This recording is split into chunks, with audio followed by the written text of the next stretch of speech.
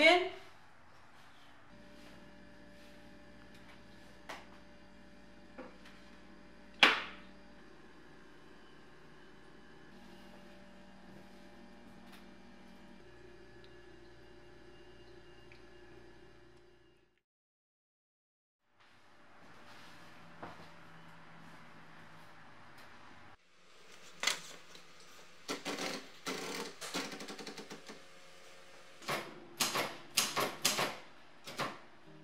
Logan, it's been really hard on me these past few years, especially when I see you everywhere.